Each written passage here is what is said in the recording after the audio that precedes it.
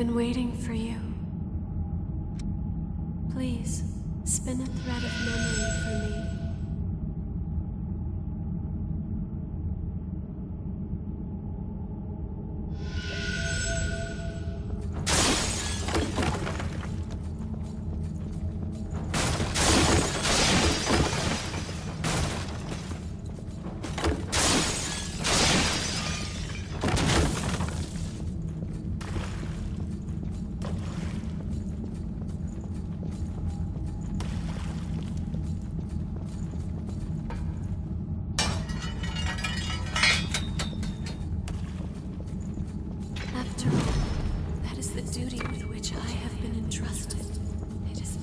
Reason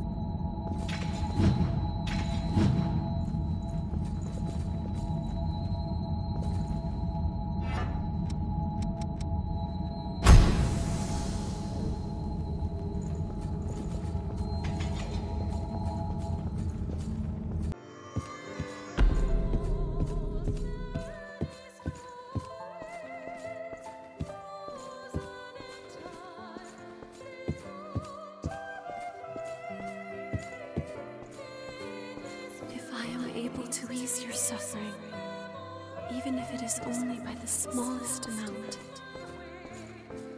then I would gladly sacrifice myself to do so. After all, that is the duty with which I have been entrusted. It is my reason to be.